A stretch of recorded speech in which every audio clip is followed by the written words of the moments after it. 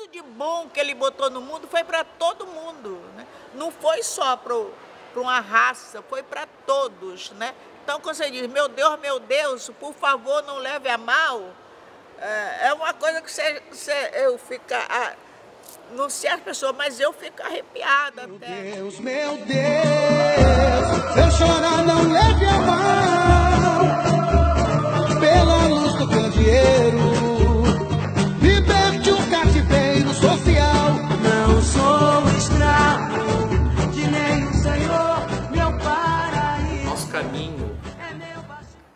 percorre alguns exemplos. Exploração do trabalho, realizado por algumas civilizações antigas, justamente para mostrar para o público que isso é um mau hábito da humanidade de muito tempo. Num segundo momento, a gente desemboca na África.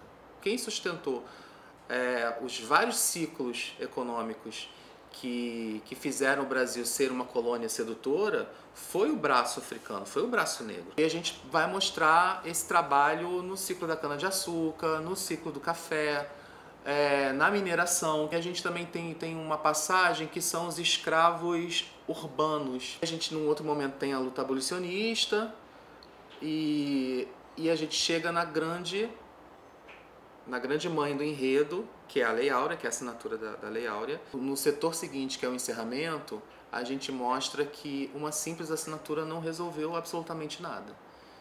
Pensar sobre é, esse, essa passagem histórica é importante para a gente compreender muito do que a gente passa hoje.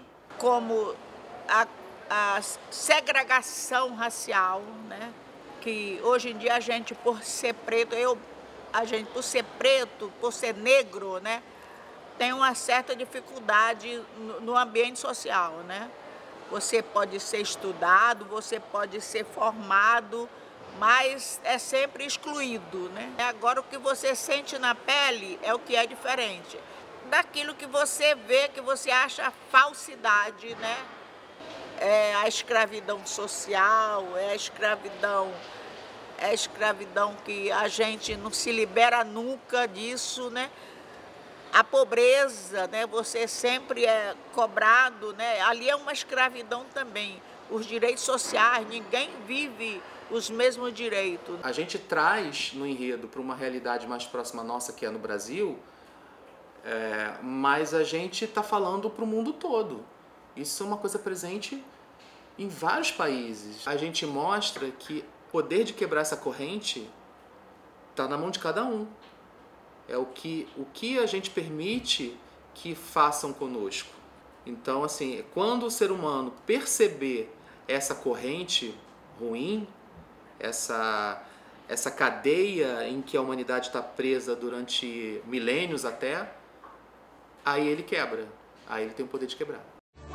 Conhece nada, o assistiu fogos no céu. Áurea, feito ouro da bandeira, pureza na cachoeira, outra bondade tua